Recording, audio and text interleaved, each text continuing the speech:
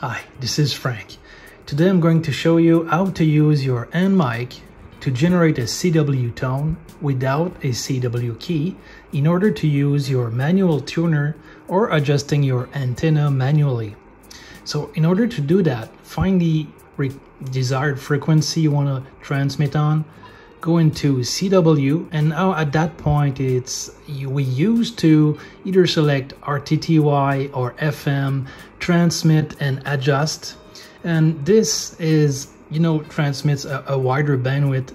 It's much cleaner to just transmit a CW tone and but without a CW key uh, this is where this tip comes handy so at that point we do not have a CW key I'm gonna use the microphone with the buttons on here. So we go into CW and in there in the menu keyer, in the keyer we edit set.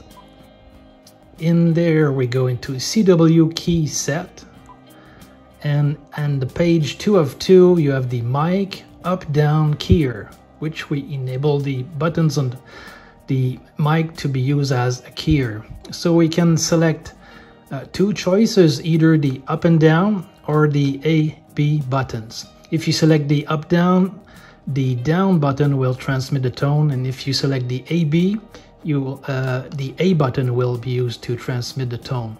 And this is continuous tone. So I'm going to select AB, go back and look at the meters and there I'm going to transmit and adjust the manual tuner. So I'm gonna hit the A button, adjust the SWR, and it will stay there as long as I key down. And then your antenna is adjusted with the manual tuner. As a side note, you can use this tip to tune your magnetic loop antenna as well. You just key down, turn your knob on your mag loop and find the best match.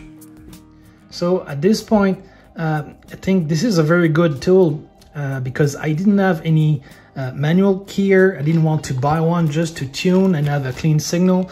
I was uh, projecting to do a manual key just to, to tune uh, with this set, just a manual button and a uh, 1.8 stereo plug.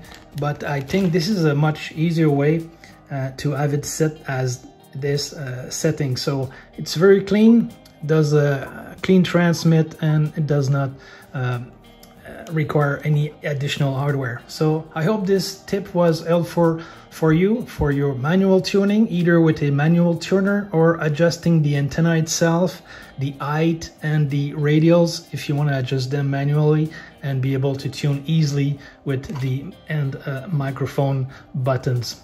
So thanks for watching and have a great day, 73.